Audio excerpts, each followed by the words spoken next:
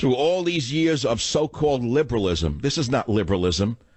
There's another word for it, but I don't have it, and it's a family show, and I can't use it. What you see in California is not liberalism at all, and it's not progressivism at all. It's cronyism. It's corruption.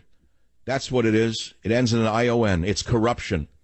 It's the most corrupt state in the land. The roads are broken. Nothing gets built.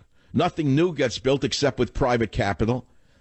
And those who are building it are then reviled in the city. Anytime you build anything in San Francisco, for example, you're reviled as an evil person.